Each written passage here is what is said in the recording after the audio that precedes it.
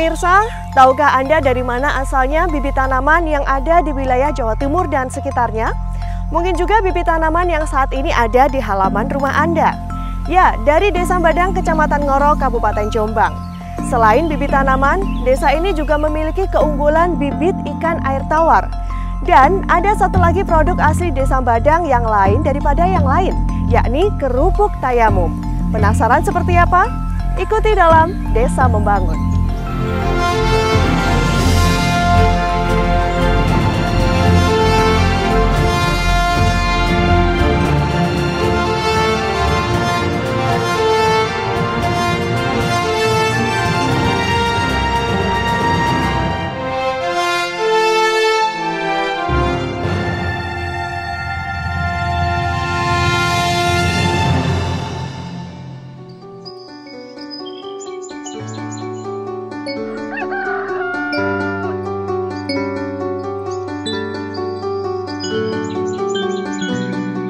Sungguh segar dan sejuk. Udara suasana pagi pedesaan, khususnya di Desa Badang, Kecamatan Ngoro, Kabupaten Jombang.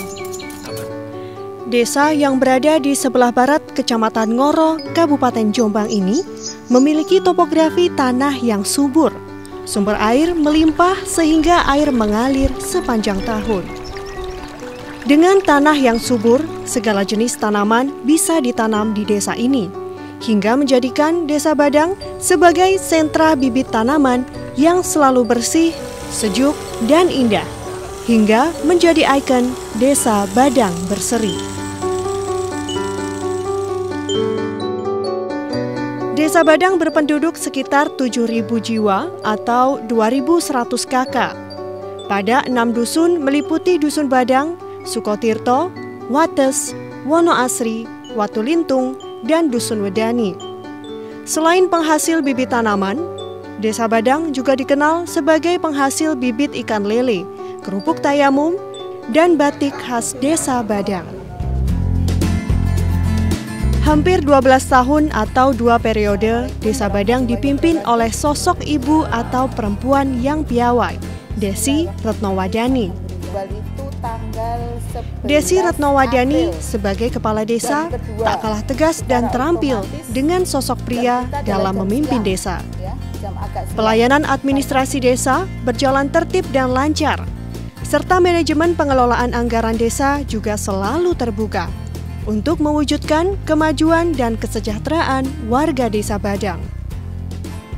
Tahun ini Desa Badang, Kabupaten Jombang memiliki anggaran desa sekitar 1,4 miliar rupiah. 861 juta di antaranya dari APBN Dana Desa. Lainnya, PAD Tanah Khas Desa, APBD, dan pendapatan lainnya. Dana desa tahun ini, sesuai musyawarah, masih akan dimanfaatkan untuk infrastruktur dan pemberdayaan masyarakat. Bu Desi, penggunaan dana desa tahun 2017 di Desa Badang ini seperti apa? Ya, kita masih terfokus ke pelaksanaan pembangunan ya Mbak ya. Hmm. Selain itu juga kita gunakan untuk pemberdayaan masyarakat dan juga pembinaan kemasyarakatan. Baik, bangunan fisik yang jadi fokus tahun lalu apa saja pembangunannya nih? Di 2017 kita masih tetap pembina, uh, pembangunan sarana prasarana jalan. Hmm. Jadi kita fokus uh, trans, jalan transportasi antar desa, antar dusun. Ini biar lebih bagus dulu. Jadi masyarakat untuk pergi ke apa ini antar dusun hmm. itu lancar, lebih nyaman begitu ya, ya Bu. Kemudian untuk transportasi pertaniannya juga lebih lancar. Lebih lancar. Termasuk gitu. jalan yang dibangun tahun lalu tempat kita berada sekarang ini. Betul sekali Mbak Bella. Wow. Ini adalah wujud nyata pelaksanaan anggaran dana desa tahun 2017. Tahun 2017. Iya. Kemudian ke depannya apa yang akan jadi pekerjaan yang diutamakan ini untuk Desa Badang? Kita masih tetap melanjutkan pelaksanaan pembangunan tahun ini ya. Jadi untuk jalan-jalan untuk jalan ya. Kita hmm. masih tetap akan perbaiki lebih bagus lagi. Kemudian kita juga akan fokus ini Mbak, saya punya satu potensi desa yang belum terjamah yaitu hmm. sumber mata air. Sumber mata air. Iya, tahun depan kami akan membangun itu menjadi uh, tempat yang istilahnya bisa digunakan juga untuk wisata. Mm -hmm. Kemudian debit airnya yang banyak bisa digunakan untuk irigasi. Ya, ya gitulah. Waduh luar biasa sekali sebenarnya ya potensi yang dimiliki oleh Desa Badak ini banyak sekali, Bu. Ya, alhamdulillah. Hmm. Mbak Bella kan saya ajak ke Kampung Bibit. Ada kampung bibit juga? Ada. Bibit bunga ya, Bu ini? Ada bibit bunga, ada bibit tanaman hortikultura juga. Baik, ada hortikultura, ada bunga. Sekarang kita lihat ke sana ya, Bu. Oke, baik.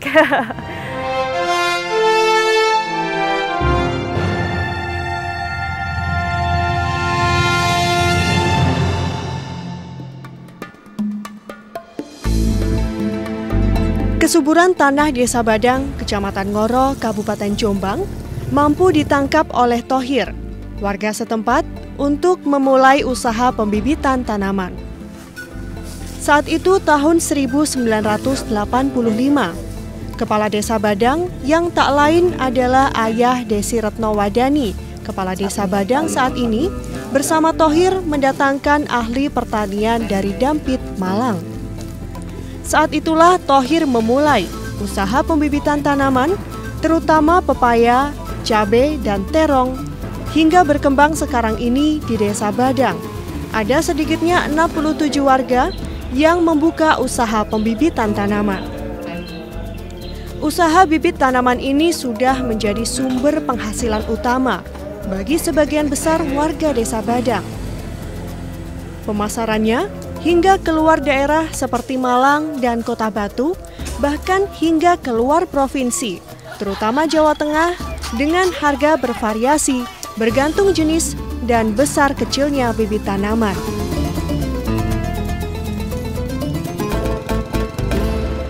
Pak Tohir, ya. setelah sudah selesai dibibit ini, iya. pemasarannya ke mana? Pemasarannya itu sudah luas Bu sekarang itu. Ke mana aja? Eh, Pasuruan, Mojokerto, Gresik, Lamongan, hampir semua Batuban, kota ya. Dan kabupaten iya, Jawa Timur ya. Seragen ya bisa. Sampai ke Jawa Tengah juga. Iya. Iya ke Jawa ke Jawa Barat bisa. Jawa Barat juga. Iya Ciberem. Pernah saya diangkut ke Ciberem. Hmm.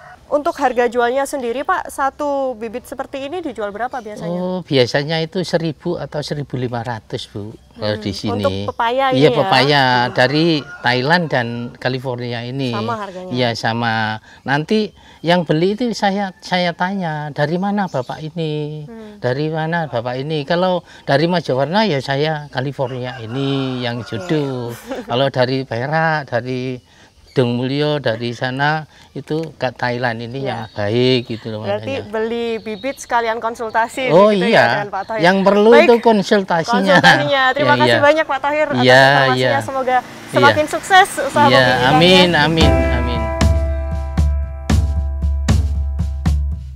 Mengapa bibit tanaman dari Desa Badang dikenal subur dan baik kondisinya bila ditanam? Karena media tanamnya istimewa menggunakan campuran tanah dan kotoran ulat Hongkong. Pembibitan tanaman dengan media campuran kotoran ulat Hongkong ini menjadi ciri khas bibit tanaman dari Desa Badang, Kecamatan Ngoro, Kabupaten Jombang.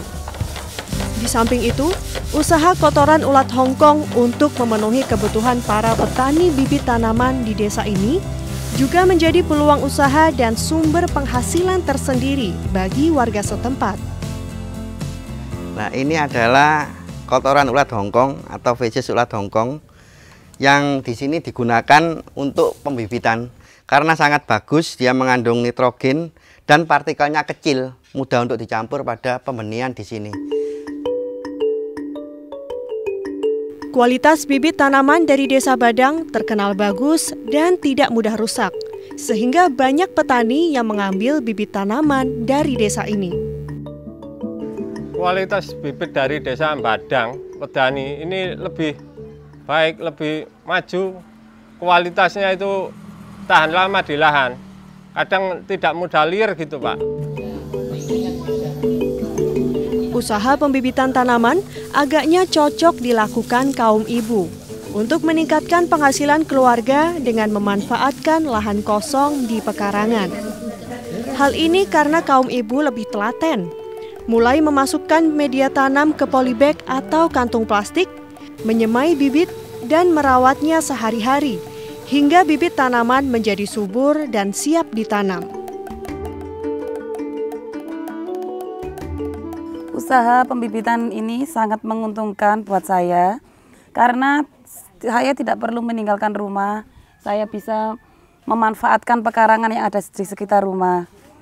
Di samping itu juga uh, usia tanam, usia penanaman atau usia pembibitannya tidak terlalu panjang. Jadi tidak perlu waktu lama untuk menghasilkan pem, apa uang bagi kebutuhan saya di rumah.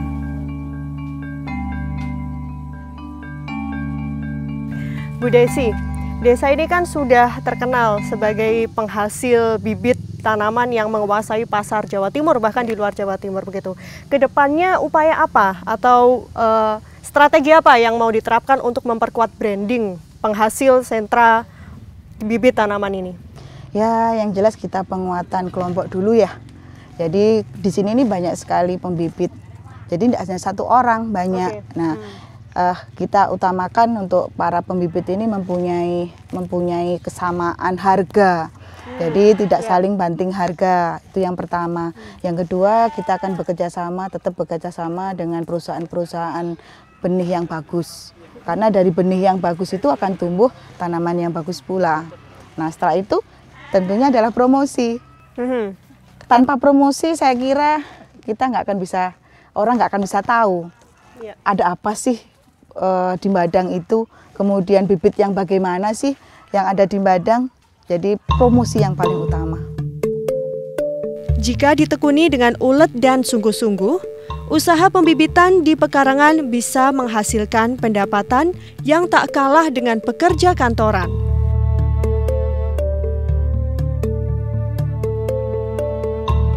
Sekalipun dengan sewa lahan, usaha pembibitan ini masih menguntungkan Apalagi di musim kemarau, harga bibit tentu saja semakin mahal karena memerlukan ekstra perawatan, terutama penyiramannya.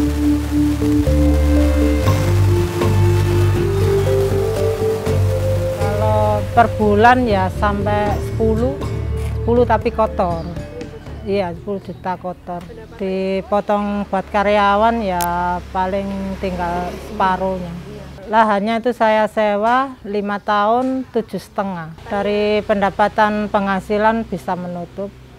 Ya alhamdulillah buat mencukupi kebutuhan rumah juga bisa. Selain membuat dan menjual bibit tanaman cabai, petani Desa Badang juga menanam sendiri tanaman cabai hingga menghasilkan lebih dari sekedar menjual bibit tanaman cabai. Pemilik lahan cabai ini mengaku setiap dua minggu sekali selama cabai produktif bisa panen sedikitnya satu setengah kuintal cabai dengan hasil bersih 3 hingga 4,5 juta rupiah.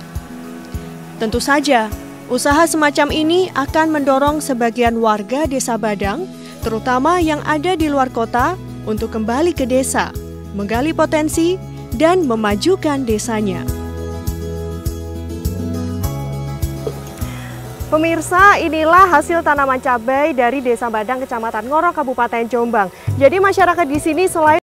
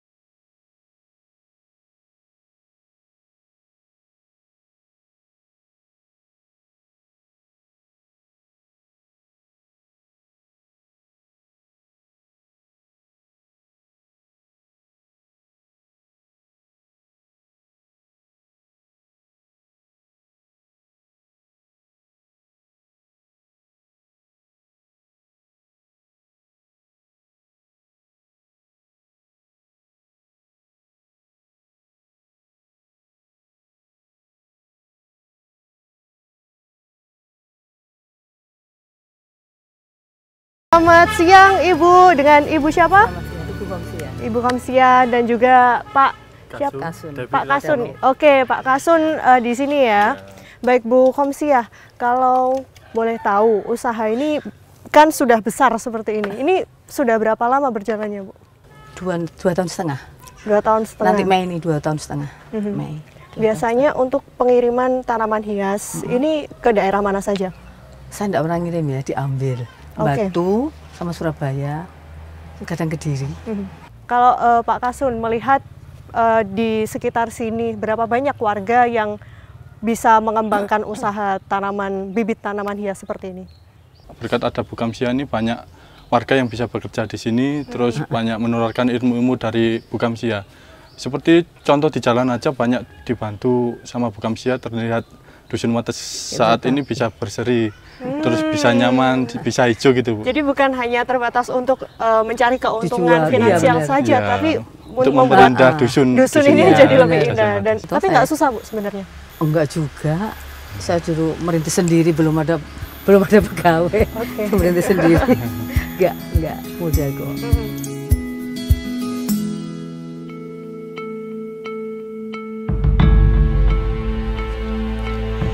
Potensi lain di Desa Badang berupa usaha pembibitan ikan lele yang juga dilakukan warga desa sebagai sisi lain pemanfaatan lahan pekarangan. Mereka berusaha bibit ikan lele dengan baik dan higienis. Sedangkan pembelinya sebagian besar dari luar kota dengan harga perean bervariasi, tergantung besaran bibit ikan lele. Namun demikian, ada sebagian warga yang budidaya ikan lele untuk konsumsi, terutama konsumsi keluarga sendiri.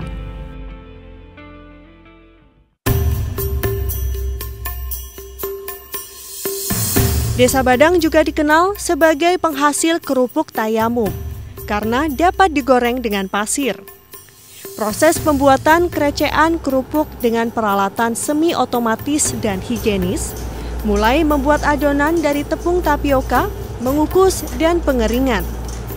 Hanya saja, bila ada gangguan listrik, kerupuk terpaksa dijemur di terik matahari. Salah seorang pengusaha kerupuk di desa ini, Basuki, dengan sembilan tenaga kerja, setiap harinya mengolah tidak kurang dari enam kuintal tepung tapioka.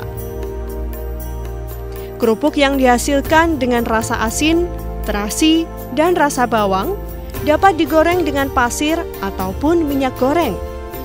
Pemasaran kerecean kerupuk tayamum ini selain untuk memenuhi warga desa Badang dan sekitarnya, juga luar daerah, terutama Sidoarjo, Gresik, dan Mojokerto. Kalau produksi sebenarnya dari turun-temurun dari orang tua, terus berhubung eh, perkembangan zaman, akhirnya saya punya inisiatif untuk menggunakan pengering untuk mengatasi untuk cuaca eh, stabilnya cuaca, stabilnya keringnya ini, keringnya barangnya terus untuk produksinya juga biar bisa stabil.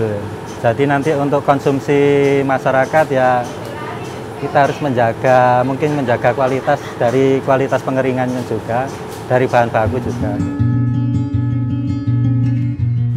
Sementara itu, bagi ibu-ibu yang tidak memiliki kesibukan pembibitan tanaman, mereka memproduksi kain batik dengan menggunakan pewarna alami dari tanaman yang ada di sekitar pekarangan.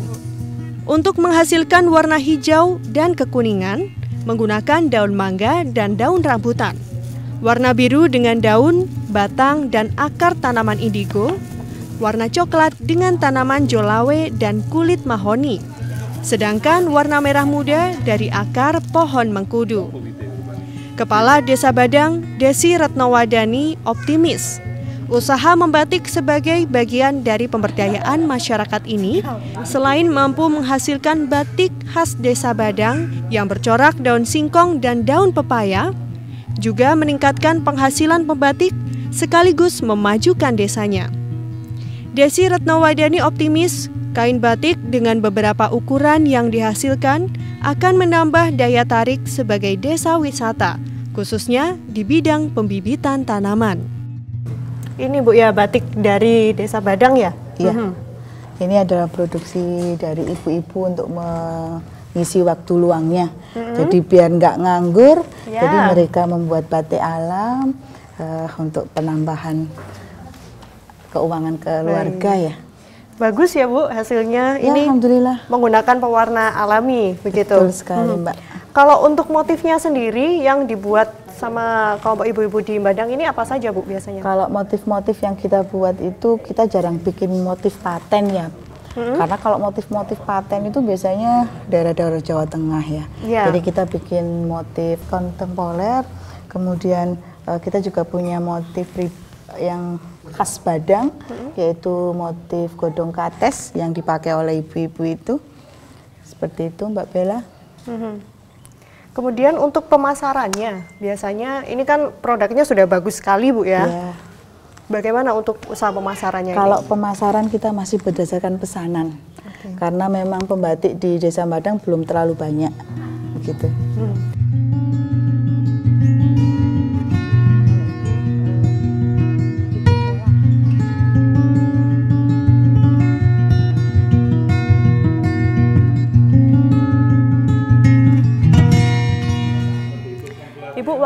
Pengerjaan uh, kain batik ini biasanya berapa lama? Dua minggu. Dua minggu untuk keseluruhannya ya. Untuk mencantingnya? Dua hari Dua hari selesai. Baik. Pemirsa, ternyata memang ibu-ibu yang berada di Desa Badang ini tidak suka berdiam diri. Mereka memanfaatkan waktu luangnya untuk melakukan banyak sekali aktivitas, seperti bercocok tanam dan juga membuat batik tulis ini. Yang istimewa adalah batik tulis ini diwarnai menggunakan pewarna alami dari bahan-bahan yang ada di sekitarnya.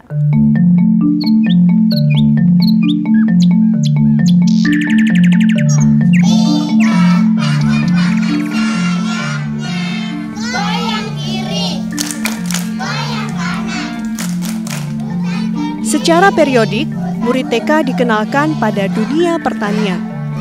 Pengenalan cara membuat bibit sejak dini kepada murid TK ini diharapkan setelah dewasa mereka mau terjun ke dunia pertanian. Pada pelatihan ini, murid TK tampak antusias menanam sekaligus mengenal bibit yang akan ditanam, di antaranya cabai. Desa ini tampaknya juga sering menjadi tujuan pelatihan bidang pembibitan dari berbagai sekolah di Desa Badang hingga berbagai daerah. Kegiatan ini dilakukan di Pusat Pelatihan Pertanian dan Pedesaan Swadaya P4S Desa Badang.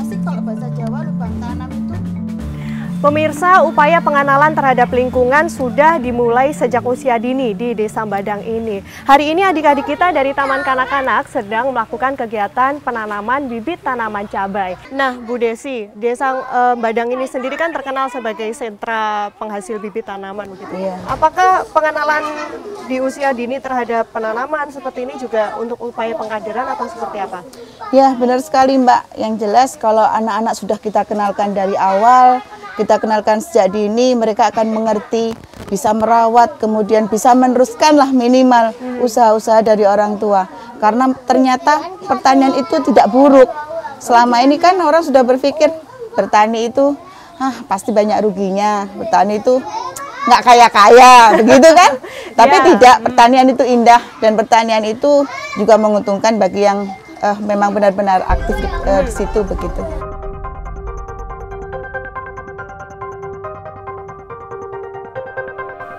Untuk meningkatkan kualitas Desa Badang bersih, sejuk, dan indah berseri, Kepala Desa Badang juga menjadikan kebersihan lingkungan sebagai prioritas, khususnya di sekolah. Siswa SDN Badang 2 misalnya, diajarkan cara membersihkan lingkungan dari sampah plastik dengan memanfaatkan sampah plastik menjadi barang berguna berupa ekobrik. Mereka diajarkan mengumpulkan sampah plastik bekas, lalu memasukkannya ke dalam botol plastik sampai padat seberat 5 ons hingga 1 kg. Konon botol plastik yang telah padat berisi sampah plastik ini dapat digunakan untuk tempat duduk hingga bahan bangunan dan lebih tahan lama dibanding bahan bangunan biasa.